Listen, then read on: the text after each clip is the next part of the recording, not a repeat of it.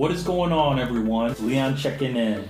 And today I have a video on the Chromebook. It's a tutorial, but before I jump into it, I do want to let my viewers know that I did start a Chromebook playlist. Anything Chromebook related is going to be in the Chromebook playlist. So go ahead and check that out if you want to see more interesting things. But today I'm here to talk about something that I feel a lot of people don't talk about and maybe a lot of people don't know. But the Samsung Chromebook Plus and a lot of newer Chromebooks, believe it or not, the keyboard doesn't have a caps lock. And this sounds kind of crazy, right? It sounds almost as crazy as not having a headphone jack on a phone. Okay, so we don't have a caps lock key. So in order to enable the caps lock, we're gonna need a dongle. Actually, I'm just kidding. We don't need no dongle. Seriously though, we only need to know a shortcut or we need to know how to remap one of our few remappable keyboard keys to turn that into a caps lock for a more permanent solution. So if we take a closer look at my Samsung Chromebook Plus and its keyboard, you're going to notice that we don't have a caps lock button where we would normally expect one. And the good news is that there is a temporary solution and there is a more permanent solution. So we will start with the temporary solution and it's super easy.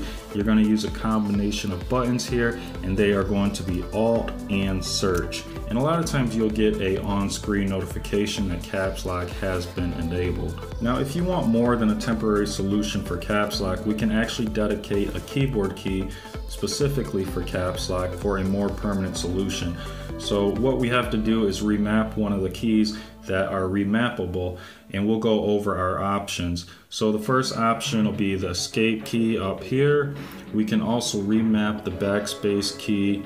We can also remap the control key. We can also remap the alt key and we can also remap the search key.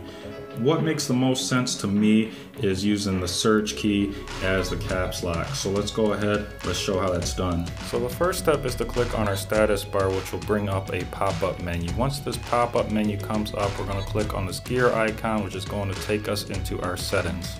Now once in settings, we're gonna scroll down to device and click on keyboard. Now as you can see, we're gonna have all our options here of keyboard keys that can be remapped Again, we're gonna go with the search key because that's gonna make the most sense and we're gonna click on the drop down menu. Now this drop down menu is gonna provide quite a few options which are really nice that we can remap the search key to. And really this applies to any of the keys here. But again, we're gonna click on caps lock, and once we click on caps lock, that's going to turn our search key into a dedicated caps lock key. So that is pretty much it for today. If you enjoyed this and found it useful, make sure to hit the like button. If you have any questions or comments, leave those below. And if you can, hit the subscribe button. That way you'll see my future videos and it'll also support the channel. For the meantime, I'm gonna post some other videos here and here. And until next time, Leon checking out.